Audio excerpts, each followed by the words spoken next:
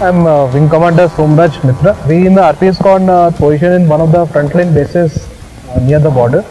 Thus, we make the first line of defense in case of any enemy air attack. Our main role in the RPS Con is surveillance and also targeting.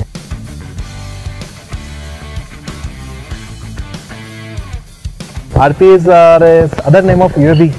Uh, most of the other point for air forces, uh, it is called UAV. However, in our air force, we have termed it as RPS. It is remotely piloted aircraft. The RPAs or UAVs as it is called, uh, they can be controlled once it is airborne.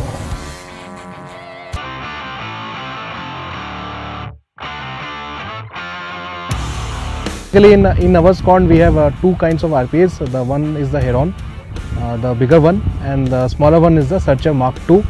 Both the RPAs uh, we have purchased from Israel. I'll just briefly describe the smaller bird that we have which is the Searcher Mark II. As you see uh, it has got uh, three undercarriages however unlike a conventional aircraft they cannot be retracted so they stay outside. Coming on the back very uh, typical to the Searcher Mark II. We have a hook arresting system as you can see below the fuselage. That is mainly used after landing to stop the aircraft.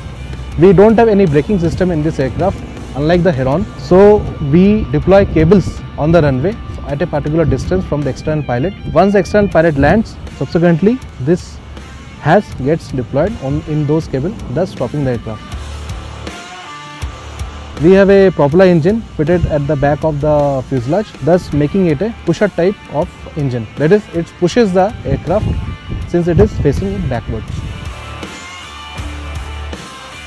On the tail surface, we have got uh, vertical surfaces, but we have two of them. As you can see, they are very small in size. However, once again, if you refer to the aerodynamics, although they are smaller in size, but since they are in pairs, so they are very effective.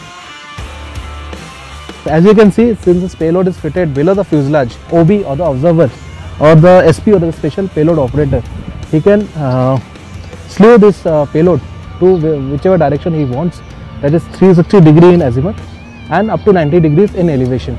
And subsequently, we can can pick up the target uh, based on where it is positioned. And subsequently use various kinds of payload that is day or night or laser depending on the type of mission.